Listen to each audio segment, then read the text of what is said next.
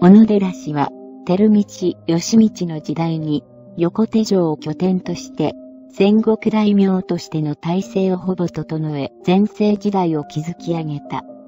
南は最上地方へ進出し、北は仙北地方とそれに続く安藤氏との対立であった。仙北地方への侵攻は永禄の中頃からと言われ、大曲の前田氏を侵入させ、狩輪の神宮寺方面を平頓し、戸沢氏を圧倒し、この間に、六号氏や本土氏を侵入させたようだ。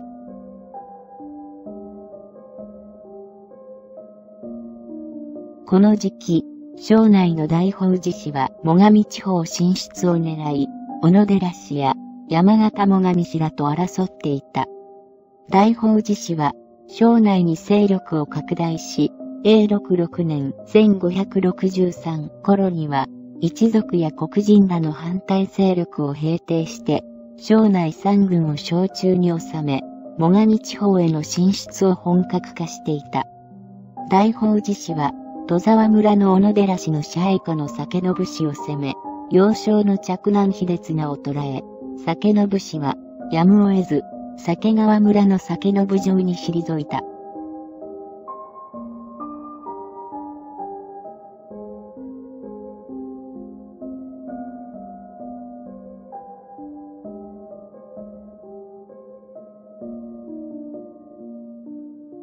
この当時、山形最上氏に義明が登場し、反抗的な一族や黒人衆らを制圧し、強力な大名両国制を打ち立て、大倉村の清水城を拠点に、小野寺氏と大宝寺氏に対抗していた。そして、天正9年1581、義明は酒の武士攻略を決意し、氏家森宗を将として酒の武城を囲んだ。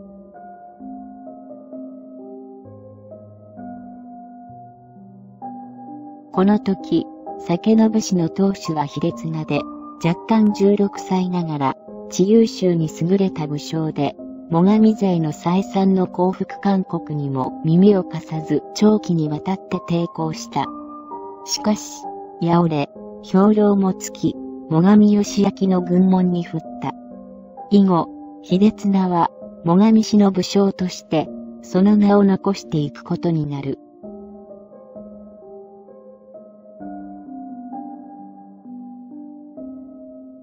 小野寺氏にとって、この酒の武士の離反により、南は最上氏に塞がれ、次第に、その藩とも縮小し始めていった。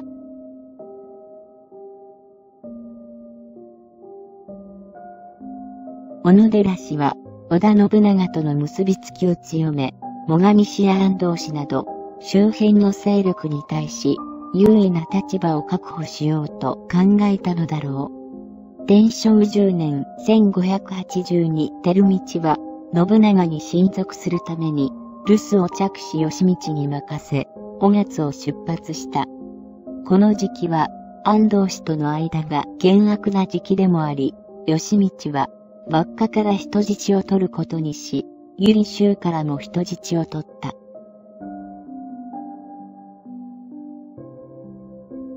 由利州は小大名たちであり、小野寺氏と安藤氏、戸沢氏の間で関係を結び、その後輩は定かではなかった。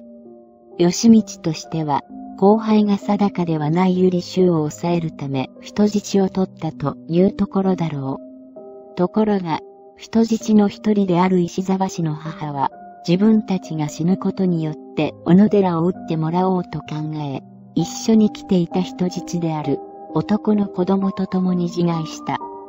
これを知ったゆり十二頭は、一騎を組んで、小野寺氏に対して兵を挙げ、大沢山に押し出し、激戦が行われた。この戦いは大沢合戦と呼ばれ、ゆり州の戦死者54人に対して、小野寺勢の戦死者480で小野寺氏は敗れ、義道はゆり州に人質を返したが、義道にとって、この大沢合戦は、痛い失点となった。このような中で照道は没したようで、義道が小野寺氏を継いだ。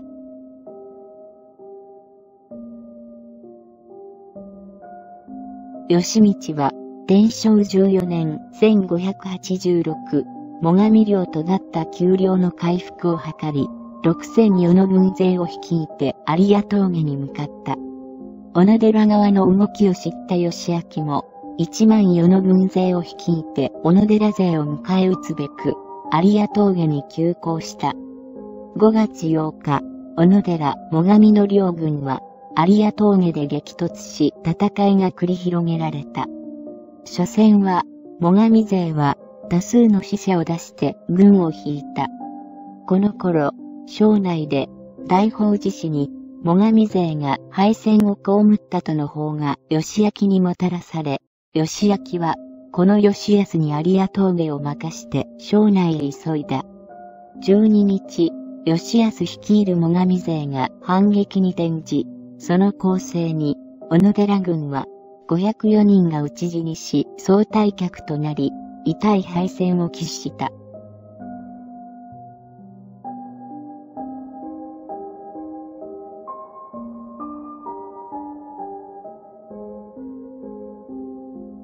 翌年、義道は、安藤実末を攻めようと狩輪野に出陣した。最上義明は、これを後期として兵を出した。ここに、小野寺義道は、腹敗に敵を受けることになり、兵を分散して両面作戦に出た。最上氏は、破竹の勢いで、小野寺型の市場を攻略し、真室川の酒信秀綱が、小野寺型の諸将を懐柔したことで、小勝軍の諸将は最上氏に投降した。ここに至り、小野寺氏の勢力は急速に後退していった。